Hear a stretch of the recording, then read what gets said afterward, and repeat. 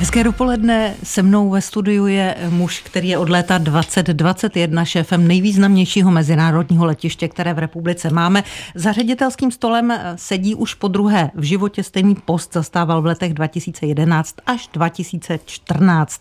Vystudoval ČVUT, kde absolvoval obor letecké výroby. To znamená, že v branži je celý život. Jiří Pos, ředitel letiště Praha. Vítám vás tady. Dobrý den. Dobrý den, děkuji za pozvání a dobrý den i posluchačům. Já si myslím, že pro posluchače by bylo zajímavé podívat se, jakým způsobem eh, funguje nebo pracuje ředitel letiště, protože já si tak představuji, že ředitel letiště je něco jako dirigent orchestru, ale dál už moje fantazie nesahá. Já myslím, že to je úplně skvělý přirovnání. Tam samozřejmě ředitel letiště to není, je to celé řadě týmů. Letiště má 2600 zaměstnanců. Samozřejmě na letišti působí celá řada dalších společností, s kterými musíme spolupracovat, například odbavení cestujících a letadel nezajiště letiště, ale dvě nezávislé společnosti, jedna teda naše ceřiná společnost, takže je to o tom orchestru a o tom, aby ty noty pasovaly do sebe a nebyly tam nějaký falešný tóniny. Takže když si někdo stěžuje, že mu nepřijel kufra, stěžuje si vám pláče na špatném hrobě. Jo? Pláče, ale pomáháme a propojujeme. Eh, taky mě zajímá to místo, odkud to řídíte.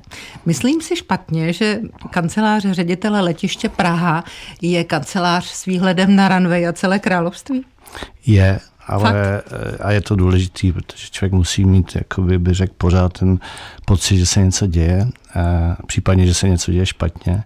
V současné době jsme se ale rozhodli modernizovat tu budovu, která je vlastně nad terminálem 1, to je vlastně od roku 68, kdy se přestěhovalo letiště na té severní části, tak zahajujeme rekonstrukce a přestěhovali jsme se teďka do jiné budovy, ale těším se, že se tam vrátíme nej, nejpozději za rok a půl. Takže teď se ředitel nekouká, jo? Vzdáleně. a chodíte někdy ven jen tak? strašně rád. Pro mě cestování, místa, kde se potkává víc lidí, to musí být jenom letiště, nádraží, Eh, jsou pro mě takovým zdrojem inspirací a, a relaxu. Chodím po letišti taky proto, že se dívám, jestli všechno funguje. Chodíte takhle v obleku, nebo si vás mám představit v té žluté vestě, jak někde mezi těmi letadly? Když chodím po terminálech, tak chodím v obleku, ale samozřejmě, když jdeme na plochu nebo do těch provozních částí, tak si bereme i z pohledu bezpečnosti žlutou vestu nebo žlutou bundu. Vy jste jak už jsem řekla, se dostal zpátky do ředitelského křesla v létě roku 2021. Vrátil jste se po sedmi letech. Předtím jste byl v letech 2019 až 2021 šéfem letiště Karlovy Vary. Jinými slovy, do Karlových varů i do Prahy jste nastoupil v době, kdy letiště byla v propadu. To vypadá, že jste milovník adrenalinových sportů. Ne, tak úplně. Je to spíš schoda okolností. Eh, eh, v Karlových Varech jsem byl vlastně ještě těž, těsně před covidem. Povedlo se nám rozšířit počet přímých letů do Moskvy, protože v té době celý Karlovarský král si užíval přízně ruských turistů, ale samozřejmě následný období bylo velice, velice svízelný už z toho pohledu, že vlastně nikdo nevěděl, jaká, jaký bude další osud té, té pandemie, jako celá řada těch ochranných opatření. A musím říct, že jsme jako Česká republika byli lídrem v těch v té míře těch eh, ochranných opatření, na rozdíl třeba od Maďarska, které už potom následně začalo uznávat ruskou vakcínu Sputnik a otevřelo vlastně eh, hranice pro ruské cestující, samozřejmě všechno před konfliktem na Ukrajině, takže Karlovy Vary, pražské letiště v době covidu je opravdu lekce. Ještě větší lekce je to regionální letiště v porovnání s pražským letištěm, protože to je lekce velké pokory a obdivu k těm zaměstnancům, kteří chodí do práce a kolikrát tam ani nevidí letadlo ten den. Teď jste mě překvapil tou lekcí velké pokory k zaměstnancům. Mají to šéfové menších letišť jednodušší nebo složitější? Mají to určitě složitější. Jako nemají zdroje. Jak se vrátil trošku do historie, tak ještě do roku 2004 existovala Česká zpráva letišť. A je to model, který třeba je v sousedním Polsku, je ve Španělsku, ve Skandinávii, kdy se ty větší, úspěšnější letiště do určité míry o ten úspěch dělí s těmi menšími Není to příjmem třeba financování těch ztrát, ale o tom sdílení know-how, synergií, kolikrát technika, která se zdá na pražském letišti už jakoby zastaralá, tak je zlatá pro regionální letiště.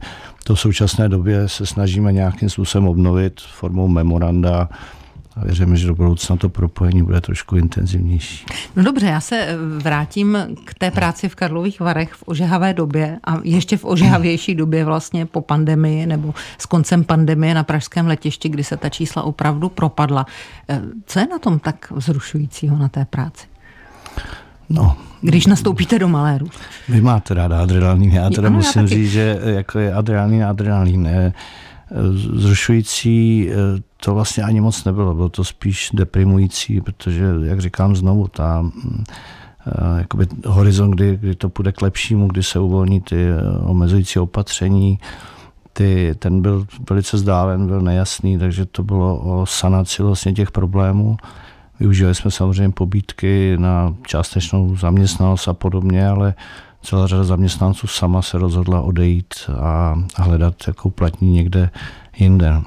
Chápu to správně, když přemýšlím o vaší práci, eh, že nové linky znamenají větší propojení, více cestujících a tím pádem větší prosperitu letišť? Jednoznačně. Vaším úkolem je teda zabezpečit, aby eh, letiště Praha nabízelo nové destinace.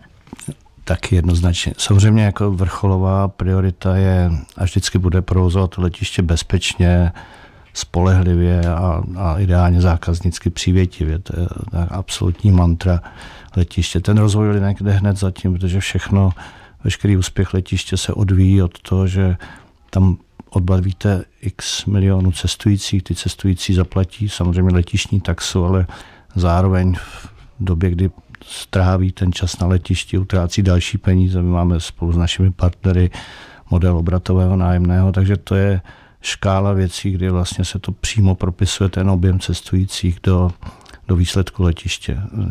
Covid ukázal, že existuje nějaká hranice pěti milionů cestujících, kdy to letiště, aspoň konkrétně pražské letiště, se, eh, si na sebe vydělá, vydělá si na provoz. 10 milionů cestujících je, kdy už si vydělá na svoje obnovovací a udržovací investice a, a to, co je na 10 milionů, tak si vlastně vydělává na budoucí rozvoj. A vy jste teď na 13? My letos budeme mít 13,6 pravděpodobně, což je oproti loňskému roku 10,7 další významný nárůst. A jenom k těm linkám, ono se zdá být jako, že my jsme jediní hybatelé nových linek, ale my eh, nevlastníme letadla, takže spoleháme a naším klíčovým partnerem klíčovým partnery jsou letecké společnosti. Se snažíme hledat ten potenciál na trhu, kde ještě není přímé letecké spojení. Snažíme se oslovovat aerolinky nebo letecké společnosti, které mají potenciál eh, ten, eh, ten pár těch letišť nebo tu linku eh, vybudovat.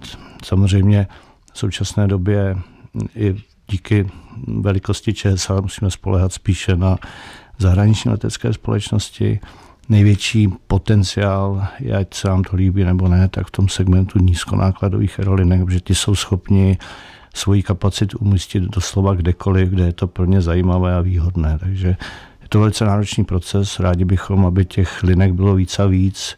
Letos to bylo 150 eh, destinací, před covidem 190 chceme nejprve se dostat tam, kde jsme byli. Já vím, že letos vlastně se obnovila linka do jeho korejského Soulu, létá se na Tajvan, eh, taky do Reykjavíku, potažmo tedy do Spojených států amerických. Eh, těch linek je víc, ale jak se to dělá? Jak dlouho to trvá? Na co ty lidi nalákáte? Jakou roli v tom hraje diplomaci? Tak my především musíme nalákat letecké společnosti. Eh, jsme v současné době v situaci, kdy nemáme dominantního partnera tomu se říká bázovaní dopravce, jako například ve Varšavě je to LOT, ve Vídni Austrian, na německých letištích Frankfurt a Mnichov, Ludanza, takže musíme spolehat zejména na ty zahraniční partnery. Eh, my jsme letos eh, dosáhli hranice 150 přímých leteckých spojení. Pro ilustraci před covidem to bylo 190. A samozřejmě naším cílem je prvé řadě obnovit to, co už fungovalo před covidem. Ten, my intenzivně vyhledáváme ty tržní příležitosti, zpracujeme s obchodními daty, analyzujeme vlastně potenciál mezi dvěma body, kde ještě není letecké spojení, ale my umíme si přes rezervační systémy nakoupit data, že vidíme například, kolik lidí z Japonska přiletí do Prahy a víme přes které letiště a to je první jakoby krok, kdy oslovujeme leteckou společnost a říkáme, podívejte se, tady je nějaký existující potenciál, který není naplněn nebo využit. Pak následuje samozřejmě jednání o podmínkách, kdy my nabízíme škálu slev, incentiv, pobídek, ať už slev třeba na přistávací poplatky nebo nějaký příspěvek na marketing té linky. To, co mám, z čeho mám velkou radost, je, že pracujeme společně s Czech Turismem, s Prague City Turismem i s ministerstvem zahraničních věcí na platformě, které říkáme Touchpoint. Každý, Co to je? Je to místo, kde si říkáme o tom potenciálu, snažíme se združit prostředky právě Czech turismu a Prague City turismu a nasměrovat je, jak se říká, tím eh, kvalitou laserového paprsku do místa, kde jsou nejefektivnější. A to je ta letecká společnost, že ta se konečně sama rozhoduje, jestli bude létat nebo ne. A to, co je hodně samozřejmě mediálně zajímavé, jsou dálkové linky. Tak jenom pro, pro ilustraci, třeba ten let ze Soulu do Prahy a zpátky tu leteckou společnost na provozních nákladech vyjde na 7 až 8 milionů korun. Když si to jednoduše přepočítáte na třikrát týdně, celý rok do, do, dokola, tak je to přes miliardu prostě nákladů. Je to investiční záměr, který má uh, svoje rizika. A ta letácká společnost musí být velice uh, ujištěna o tom, že se to letadlo naplní to a ještě za rozumné ceny. Hmm. No a jak to vypadá s Větnamem a s Japonskem, když už jsme u toho? Větnam to je příběh, který já, já mu sám nerozumím, protože díky té ohromné komunitě, větnamské komunitě v České republice. Díky zájmu o Větnam ze strany našich cestovních kanceláří, teď tam začne lítat nemenovaná letecká společnost s jedním nemenovanou cestovní kanceláří. Ten, poten, ten potenciál je evidentní.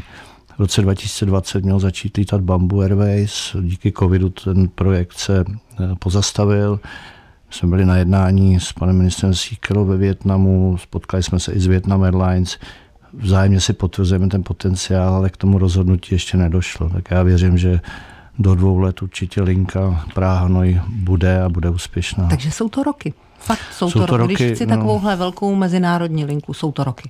Jsou to roky Emirates, o které jsme usilovali. Eh, to trvalo zhruba 6 let, pořád dojednávání těch konkrétních podmínek. A to, co je třeba zajímavé, nová linka eh, z Taipei, eh, China Airlines, První jednání bylo v roce 2008 v Taipei, takže to je 15 let. Uh-huh. Stále jsou nejčastější destinace, do kterých Češi létají Londýn a Paříž? Ano, pořád. Oni to nejsou jenom Češi, jsou to i právě ty Britové a ty Francouzi, případně Italové. Jako region třeba v letošním letní sezóně číslo jedna je Itálie díky četnosti spojení. Jinak ty destinace dovolenkové pořád samozřejmě vede Hurghada, Marsala a, a další prostě dovolenkové destinace. A teď z trochu jiného soudku. Je to pořád ještě prestižní záležitost pracovat na letišti? Protože za mě bylo. Já myslím, že jo. Samozřejmě eh, mladí eh, absolventi škol eh, mm, možná nevidí v tom ten životní úděl nebo tu životní misi my máme, sám povedlo, teďka nabrat celou řadu, nebo celou řadu stovky zájemců o částečné úvazky, brigády, ať už při studiích nebo po studiích, za co jsme rádi, že to pomáhá i pokrýt ty provozní špičky, ale nevím, nakolik se to promítá do toho myšlení těch, těch mladých kolegů, že chtějí s tím letištěm spojit celý život. Myslím, že to víc o o požitkářství, o vydělat si, pak zase někam jít jinam pro mm-hmm. jinou zkušenost. A takových jakoby dinosaurů, jako jsem já, 40 let a plus letectví, nevím, jestli to do budoucna tak bude. No a co vás u toho drží? Je, můžu si představovat malého chlapce, jak stojí s kolem někde u plotu a dívá se na přistávací letadla, nebo jak si hraje na pilota, nebo... No je to přesně tak. Byli jsme na Praze 6, tak jsme na kole opravdu jezdili k dráze a nechali nad námi letat ještě ty staré ruské stroje. Eh, maminka pracovala celý život v ČSA, eh, moji bratranci tam pracovali. Já jsem dokonce neuspěl eh, při prvním snaze se dostat na střední školu, tenká elektrotechnickou, nechápu proč, protože mě ta elektrika úplně tak nepřitahuje. A šel jsem do učení na letiště, učil jsem se na leteckého mechanika v 76. roce. A tam se to, myslím, zlomilo.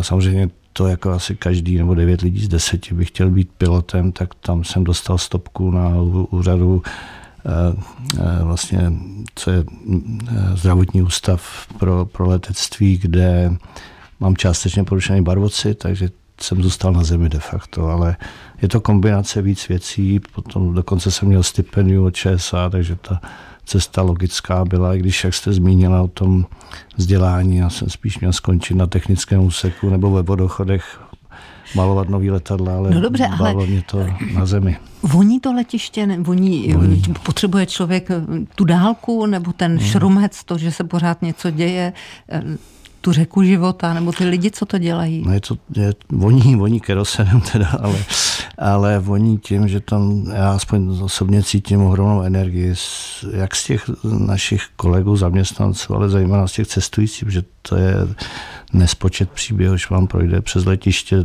typu Pražského letiště denně 55 tisíc lidí, tak to je 55 tisíc příběhů.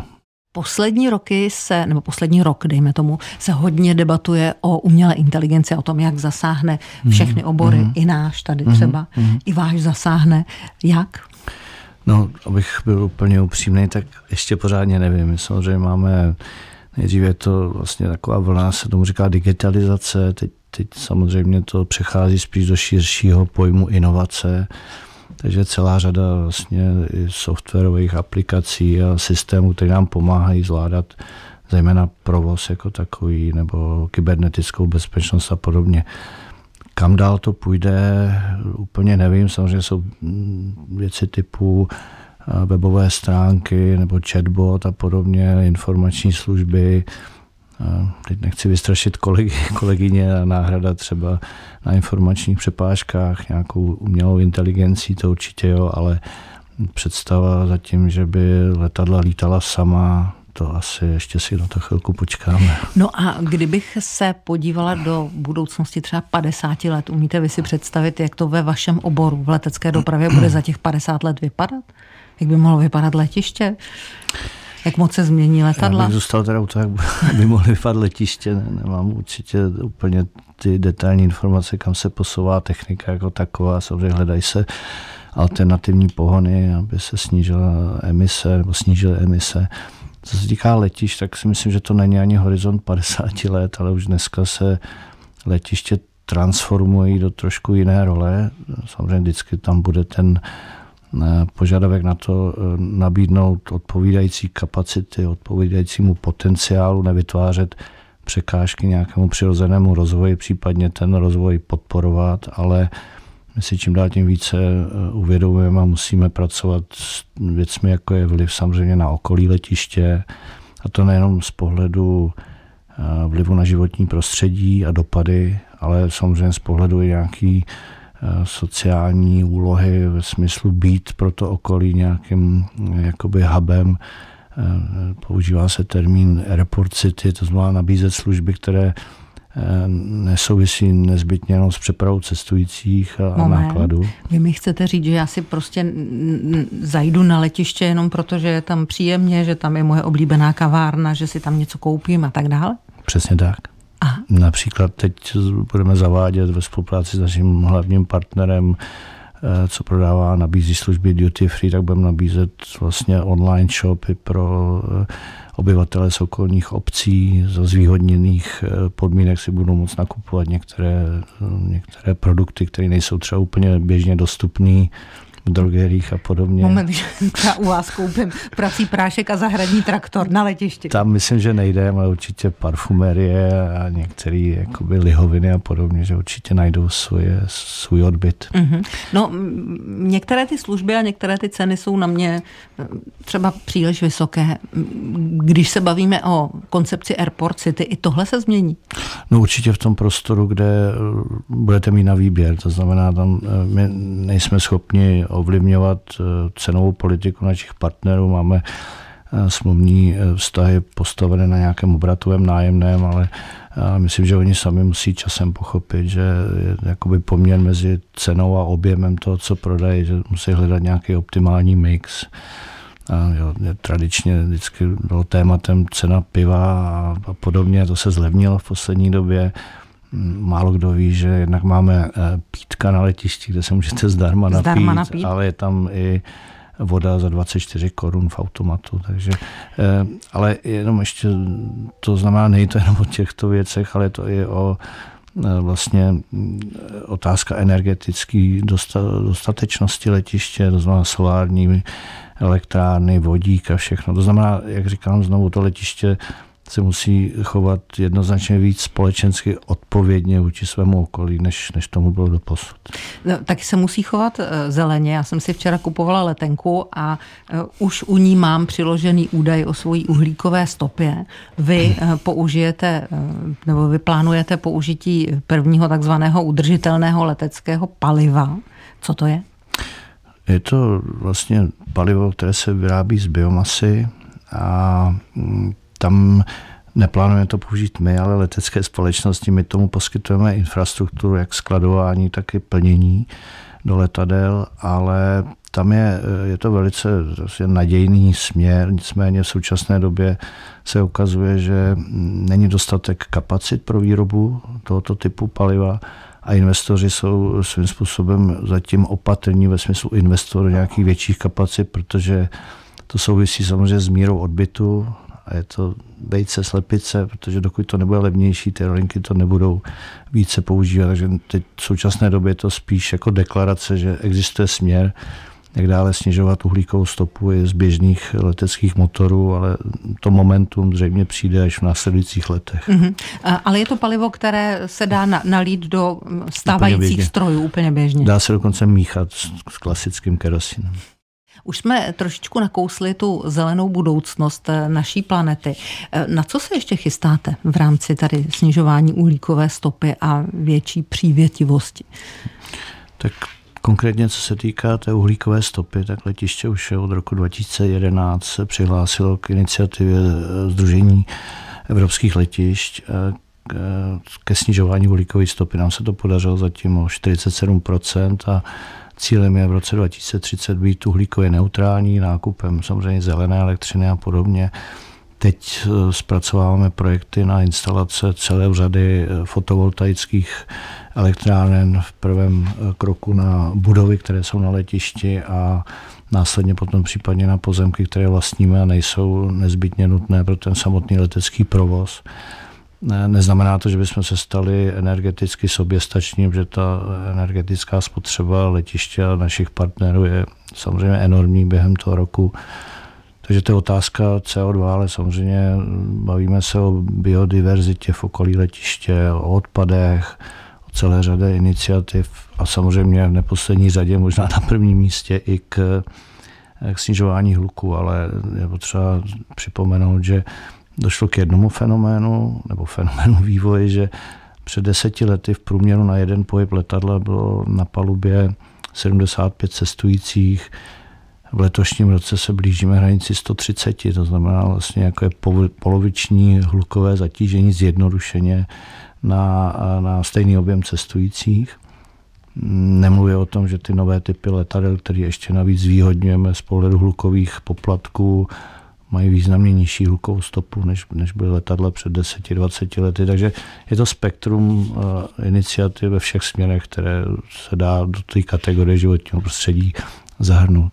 Já se ještě vrátím k té ekologičnosti dopravy. Já jsem někde četla, že v Evropě existuje jistý tlak na omezování těch krátkých letů a na to, že by se měly nahradit vlakovou dopravou. Ale to u nás se asi dost těžko stane, protože Praha, kolik má eh, těch letů pod 500 kilometrů? No, eh, de facto jediný ty lety je Vídeň a Mnichov. Mnichov. Hmm. Jinak všechno ostatní je další. Zase je to, eh, samozřejmě ta iniciativa předně přišla z, z Francie. Francie má úžasnou síť vysokorychlostních železnic a a výsledkem bylo, že byly zrušeny tři linky, které stejně už jakoby skomíraly biznisově, ne z pohledu ekologie, ale biznisově. Nás bohužel toto čeká až za hodně dlouho. Hmm. Já jsem se dívala na ty mezinárodní statistiky, když se ještě vrátím eh, k té covidové době, kdy všichni utrpěli, eh, letiště Praha taky, že vlastně Finsko, Velká Británie a my jsme byli nejvíce postižené země, co se týče propadu cestujících v těch covidových mm-hmm. letech. Finsko, no možná Velkou Británii bych pochopila, ale Česká republika? No, jak jsem to zmínil možná na začátku, eh, je to kombinace více vlivů. Eh, především ta míra a rozsah těch eh, opatření k omezení volného pohybu osob. Jak jsem zmínil, třeba Maďarsko, ty přišli a v Evropě byli svým způsobem unikátem, že začali uznávat vakcinaci Sputnikem a otevřeli de facto ten trh pro, pro ruské občany a to ne do Maďarska, ale s přestupem vlastně do celé Evropy. Eh, je tady druhý fenomén, který je potřeba také zmínit, že eh, vlastně české aerolinie ještě před covidem eh, doručili pražskému letišti 2,5 milionu cestujících a vlivem prostě celou řady okolností se dneska bavíme o nižších statisících a nebyli jsme do posud schopni eh, úplně efektivně obnovit všechny dálkové eh, linky, ať už z Číny nebo ze Severní Ameriky.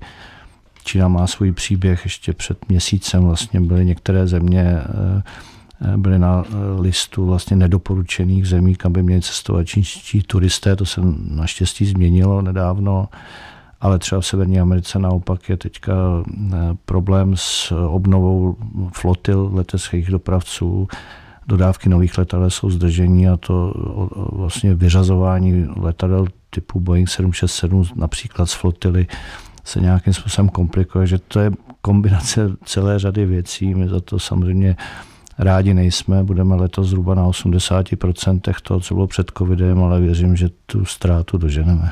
Vrátím se zpátky eh, k těm příběhům, protože letiště je vždycky zdrojem velkých příběhů a je tady od Petra docela zajímavá otázka. Chtěl bych se zeptat ředitele, zda na letišti zažil nějakou podobnou situaci, která nastala ve filmu Terminál s Tomem Hanksem. No, ne v takové míře, ale, ale a nevím teď do jaké míry se může dostat. Jsou samozřejmě cestující, kteří vlastně po příletu eh, jsou odmítnutí, jim odmítnen, odmítnut stop, vstup na území České republiky. Letecká společnost, která dovezla, už se necítí být za to zodpovědná, nechce odvést zpátky a jsou to týdny, kdy vlastně se pohybuje v areálu eh, letiště v té neveřejné zóně, terminálu 1 a je tam samozřejmě takzvaný detenční zařízení, nebo jak to nazvat, vlastně skromná ubytovna, kde těm cestujícím poskytujeme zázemí do doby, než se vyřeší ten příběh. Takže my už... máme taky Toma Hankse na no, letišti. ale, ale, zdaleka nejsou tak úspěšní jako Tom Hanks. A fakt to trvá týdny někdy? Ne, týdny záleží opravdu na příběhu. Myslím, že ty, nej, ty nejdramatičtější příběhy byly týdny. Hmm. A nějaké příběhy, které vám, příběhy cestujících, které vám uvízly v hlavě? Jako řediteli letiště dlouholetému? Vím, že asi před, já nevím, před kolika měsíci přistávalo letadlo, narodil se chlapeček někde. Jo, určitě, no, tak teď jste mi připomněl, to je strašně milý, že se samozřejmě podařilo. Eh, já, těch příběhů je celá řada a teďka mě úplně nic nenapadá, nechci ani jít do nějakých konkrétnějších a bizarnějších příběhů, to bych možná to by mě, pošk... zrov, to by mě teda zrovna pošk... zajímalo. Svýho času jsme měli problém s nedostupností toalet, ale, ale to je spíš, ne, ne, není to vůbec úsměvné a dodatečně se omlouváme za to, že to vzalo takovou míru medializace, ale je to od ztráty předmětu, ztráty dítěte. Jedna věc, která možná zmiňuju, nebo bych chtěl zmínit, je třeba, že se stává, že když vlastně malé děti nejsou zrovna pod přímým dozorem dospělých, tak se nám dvakrát stalo, že nám proběhly přes ty odbavací přepážky na pás, který vede vlastně do třídiny zavazadel. Tam Naštěstí to všechno. Svezení, no, dokonce jedno dítě nám projel rengenem. Teď máme už řešení přes videoanalytiku, že se automaticky vlastně ten pás zastavuje a a doufám, že už se nic takového nebude opakovat. Mimochodem, když už jsme u těch rengenů, jak dlouho to bude ještě trvat, než nebudu muset vyndavat své elektronické přístroje a lahev vody ze svého batohu? E, ty řešení už existují, v celé řadě letiš ve světě už jsou instalované, je to technologie CT, my jsme v současné době uzavřeli výběrové řízení a předpokládáme, že první čtyři rengeny na centrální bezpečnostní kontrole v terminálu 2 budou instalovány před příští letní letovou sezónou. Bude to znamenat nejenom tento komfort zmíněný, že necháváte elektroniku a tekutiny eh, v zavazadle, je to samotný zrychlení, ale připravujeme třeba i projekt, kde si budete moct dopředu rezervovat čas na průchod bezpečnostní kontrolou, takzvaným fast trackem, v garantovaném čase. To znamená, to zřejmě třeba pro obchodní cestující bude určitě zajímavý produkt, který, který budou moct využít. Mm-hmm. Stanislav, Pražské letiště má přímo v terminálu supermarket s běžnými řetězovými, řetězcovými cenami. Je to nezvyklý bonus, jaký jsem ve světě snad nikde neviděl. Byl to záměr nebo náhoda? Byl to záměr určitě. Je to, ale je to, jsou ve světě, jsou. Jsou určitě taky, ale je to samozřejmě letiště samo sobě má 2600 zaměstnanců, když eh, to vemu z pohledu těch ID karet nebo těch identifikačních průkazů, který letiště eh, vydává eh, zhruba 14 tisíc, tak je to masa samozřejmě i zaměstnanců, kteří si rádi před nebo po směně nakoupí a nemusí potom někde složitě hledat otevřený supermarket. Nakupujete v sámošce u vás? Jenom občas ve Zlinu. Ředitel letiště Praha Jiří Post dneska byl hostem radiožurnálu. Děkuji za zajímavé informace a ať se vám a vašim kolegům na letišti daří. Děkuji moc a přeju všem, kdo cestují letadlem, příjemné zážitky. Lucie Výborná od mikrofonu přeje pěkný den. Ať se dneska daří i vám.